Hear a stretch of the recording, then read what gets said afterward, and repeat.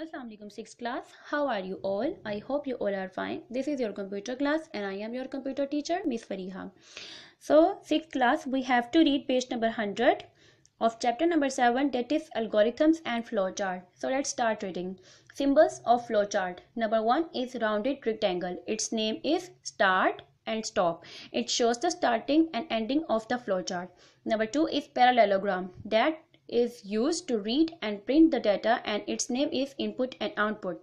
Number three is rectangle that is used for processing and it shows the command for calculation. Number four is diamond that is used to take the decisions. Its name is also decision and follow exactly one of the two flow lines. Number five is arrow and its name is flow lines and it shows the connection between symbol of the flow chart. Now we have to read an example to add the two numbers. So first पे क्या है start that is in the rounded rectangle.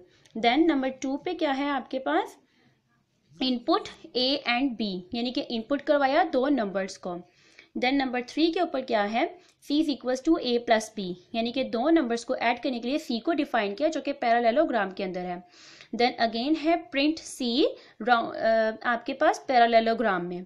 क्योंकि print सी और input A B ये दोनों चीज़ें आपकी input और आउटपुट के अंदर आती हैं, इसलिए ये दोनों आपके पास पैरेललोग्राम के अंदर है।